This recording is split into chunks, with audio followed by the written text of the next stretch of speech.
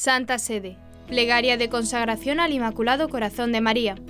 En la oración con la que el Santo Padre consagrará a Rusia y Ucrania al Inmaculado Corazón de María, se pedirá la intercesión de la Bienaventurada Virgen María para que nos ayude en la tormenta de la guerra, nos conceda la armonía de Dios al mundo, que nos enseñe a perdonar y nos despierte la necesidad de orar y de amar, entre otras cosas.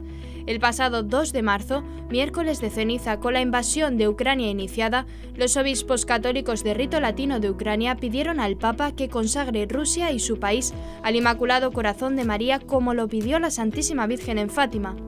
Unos días después, el director de la oficina de prensa de la Santa Sede, Mateo Bruni, anunció que el Santo Padre lo haría en la jornada penitencial que se desarrollará el día 25 de marzo, solemnidad de la Anunciación del Señor.